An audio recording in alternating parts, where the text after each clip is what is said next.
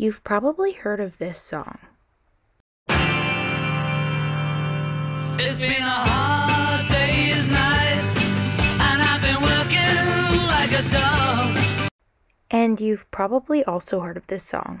Jump in the shower and the blood starts pumping. Out on the streets, the traffic starts jumping with folks like me on the job from 9 to 5. But have you ever heard of this song?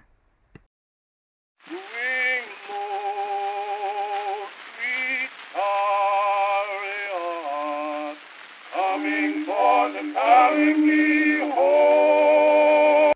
All three of these songs are about work.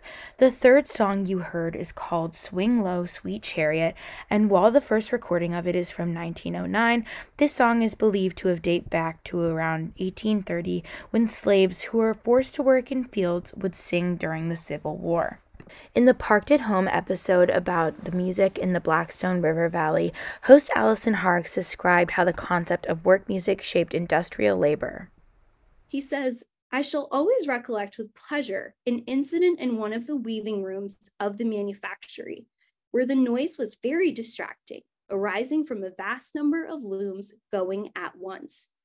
The machinery suddenly stopped, and a strain of music arose simultaneously from every part of the room in such perfect concord that I at first thought of it the chime of bells.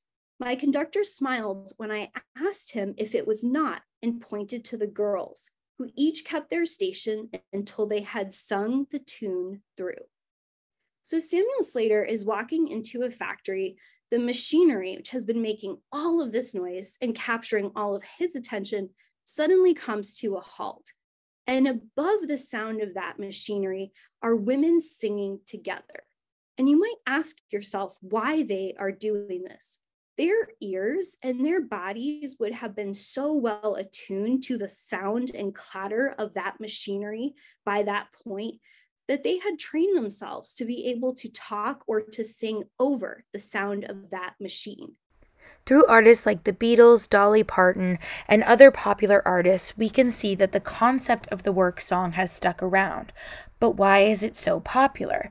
Horrocks explains. Something that I love about this image is we can imagine these two women possibly trying to have a conversation. And this would have been extremely challenging because all around them, there would have been machines making an incredible amount of noise. Work songs are a way we've learned as a society to reclaim our time and autonomy as laborers. For women, specifically in weaving mills during industrial times, this was to reclaim their sense of sound. But what do working songs mean to you?